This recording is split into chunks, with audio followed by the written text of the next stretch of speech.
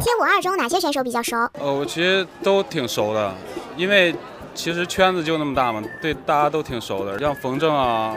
呃，高博啊，牧童、小海这些都很熟，真的很熟。爆料一下生活中的他们是什么样？私下就是挺好的。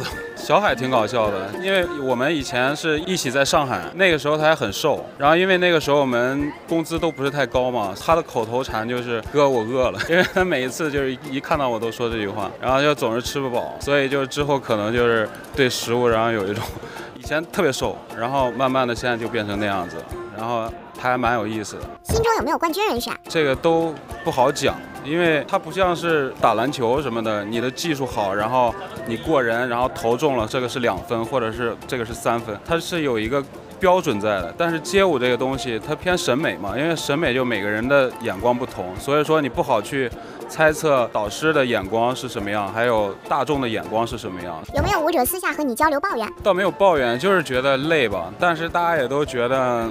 也没有什么，反正大家都还觉得挺享受的。因为我去年也是，我心里边就一直纠结的两个想法。我觉得他们应该也是，就是想早点淘汰，但是又觉得很不甘心，是这样子。想早点淘汰，就是真的是太累了，想早点把自己释放出来，然后又不甘心，就感觉是在这个。地方是真的可以学到东西的，因为在平时的话，你比如说我的话，只跳 popping 是接触不了别的的。在这个训练营，每天跟他们一起排起舞，而对起舞啊、urban 啊，还有包括其他舞种有更深的了解，反倒再回到自己的专业上面的话，还有所进步，然后可以吸收别的东西。我觉得这是一件好事。作为过来人，怎么看二十四小时这个赛制？二十四小时，然后之前我跟节目组提议四十八小时，但是节目组给我否了，因为。